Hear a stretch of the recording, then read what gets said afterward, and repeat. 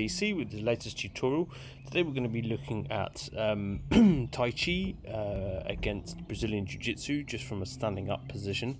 Uh, there's an excellent uh, uh, demonstration of this that I've I've uh, I've come across um, that I think is uh, really really worth studying and, and, taking a look at because there's a lot of subtle things that are going on um, that might not be apparent if you're not if you don't practice Wing Chun or, or the Chinese arts um, you might not really understand what's happening. You might look at it and think, oh well, I'm just watching someone doing, you know, wrestling or, or judo or or um, stand up Brazilian jiu jitsu. Whereas in fact, like the the Tai Chi system and the Wing Chun system um, are it, there's a lot of subtleties that you, you might be able to miss. Anyway, this is a really good video. This is um, uh, sports Tai Chi push hands. Uh, so this is um, uh, a friendly match between a Tai Chi push hands player and a Brazilian Jiu Jitsu, and so a couple of Brazilian Jiu Jitsu grapplers. And um, they do, this is a guy called, the, the Tai Chi guy's guy called Jan Lucanus,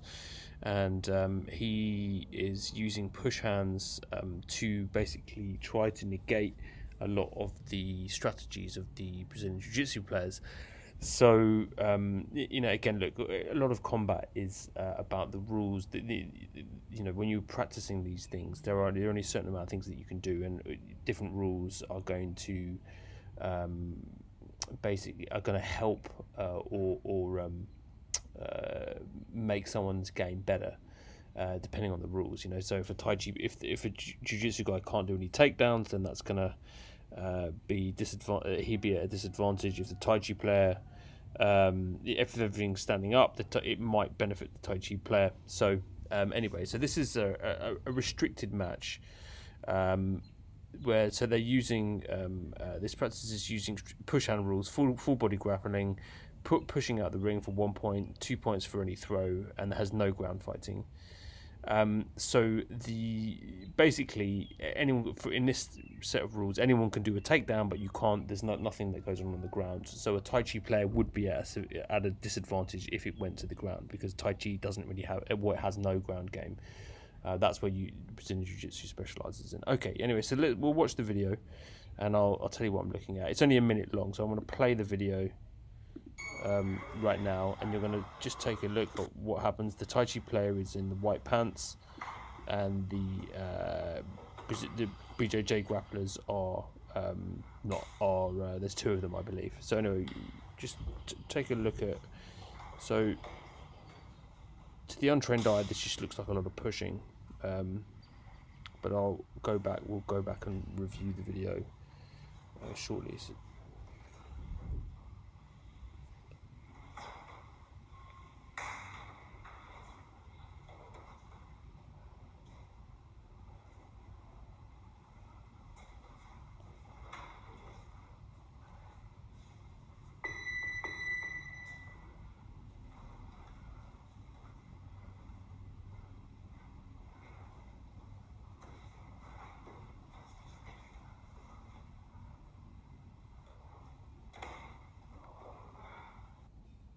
Okay, so let's go back um, over and review that a little bit. So there's a lot of interesting things going on here that I'm going to try to point out. Um, so I'll just refer to them as Tai Chi player and Brazilian Jiu Jitsu player. So this is the this is the um, so if you look immediately how just how solid the Tai Chi player's base is, um, he's very very very rooted to the floor and he's pushing um, the BJJ player backwards, and the BJJ player doesn't really know how to respond to this. Um, and you see he's getting pushed around, and he's the, the BJJ player tries to get back his base, and but he's having a hard time doing that.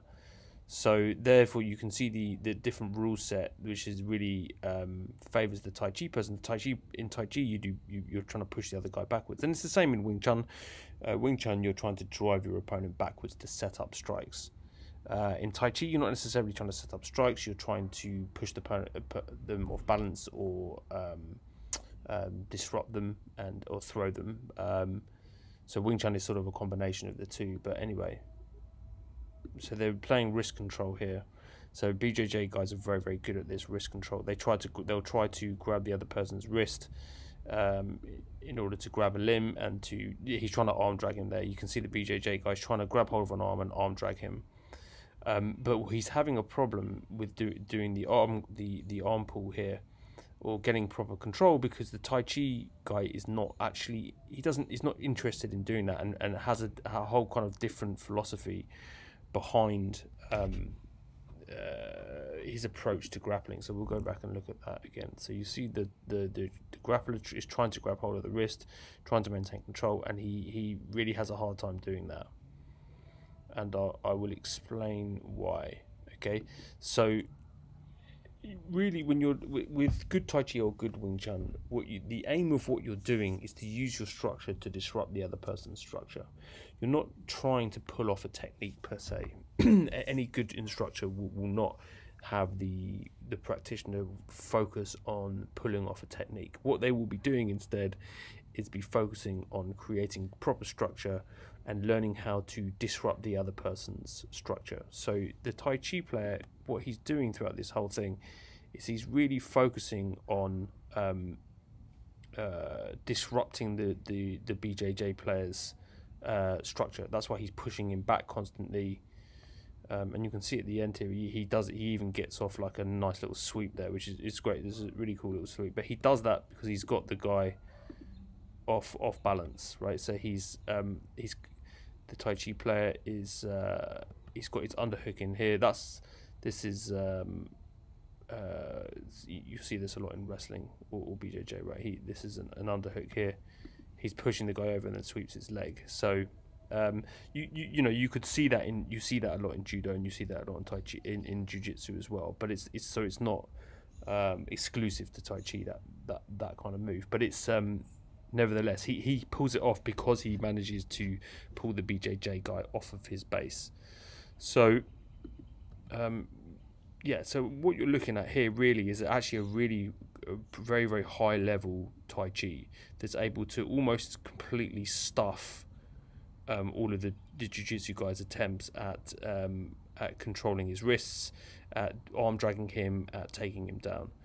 Um, the Tai Chi player is is so there's a slight difference also you'll notice in, in the footwork that the Tai Chi player uses. The Tai Chi in, in Wing Chun we don't like to move around so much, um, uh, and if we move if we move we're moving in a straight line.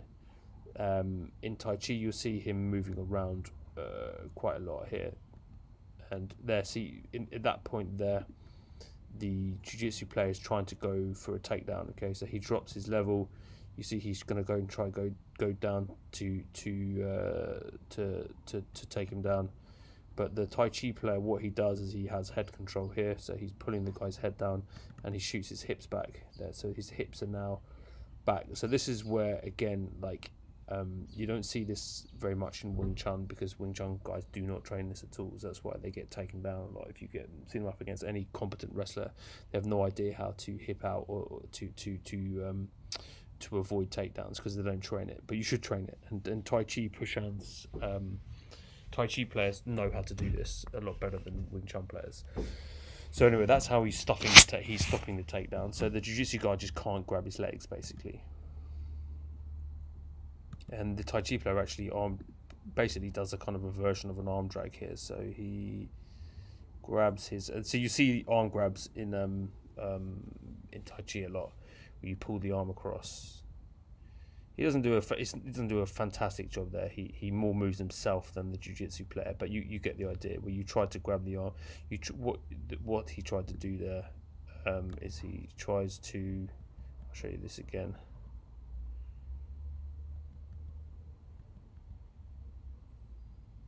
Oh no, I think we missed it. let's go back a bit here. You'll only see where he tries to do the arm grab here. So he grabs the arm, he grabs the the the jiu-jitsu player's right arm. He's going to try to pull pull the right arm across his body like this uh, and go to the side, which he does. But he he basically ends up moving himself more than he moves the jiu-jitsu player. So what you'd really want to do is move the other player. At least from a Wing Chun perspective, when you do that kind of move, we, we call that lap sao, uh, where you're pulling the other your opponent's arm um, across you and taking their blind side. When you do that, you want to be moving their body and not yours.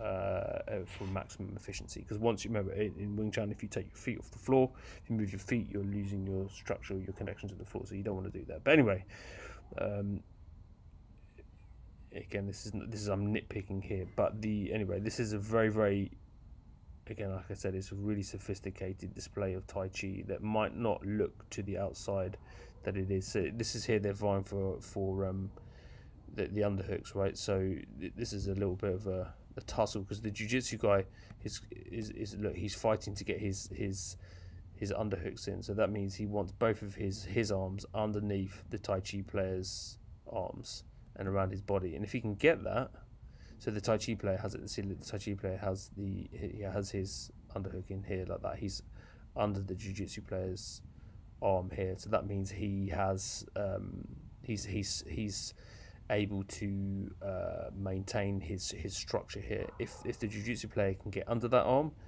uh, then it starts to get get a bit dicey for the Tai Chi player. So you see the, the jiu-jitsu guys yeah he, he he there's not much he's pulling off here. He's getting completely shut down. Um, so again the point of tai chi um, actually they do they do a good job of writing about this in the description of this actually. Um, so if you look at what the, the description says here, it says Coach John Lucas uses the science of pushing to disrupt the takedown strategies of more sophisticated throwing arts than executed throws when they are off balance or winded. Um, so that's I think is a really good way to understand this. That what Tai Chi and Wing Chun should be doing, they are basically what they are disruptors, right? So they don't focus on techniques. They don't focus on trying to throw you or trying to do any particular technique. But what they're trying to do is disrupt your uh, opponent's uh, attempts to um, throw you or whatever it might be. Um, and again, so they make the point point here in, in the video actually that um, uh, one of the points that they make actually is um, uh, so therefore it's the, the learning push hands benefits every type of movement system especially grappling and football. Um, and I, I completely agree with this that uh, learning um, this system of uh, uh, learning Tai Chi or Wing Chun um, these are these are core philosophies or concepts that you can then inject into other arts and make them more effective. Um, I, they're more kind of they're, they're, conceptual frameworks, ways of understanding martial arts, as opposed to a perfect style. Uh, so it's important. I think it's really important that um, people who, who practice these things understand that you're not looking at Tai Chi as being a complete system in of itself. It's just it's like a kind of uh, an engine you know you can use that as, as, your engine then you can start adding to that engine. So you can then judo or jiu-jitsu or wing chun or or, or grappling um, uh, wrestling whatever you want um, and and it will become more effective.